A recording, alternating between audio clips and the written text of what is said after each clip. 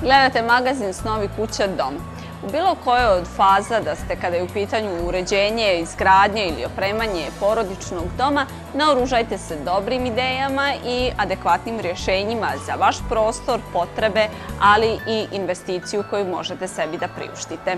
Zbog toga crpite ideje na dobrim rješenjima, a ovoga puta pogledajte kako izgleda jedna kuća koja je i građena i uređena u modernom stilu.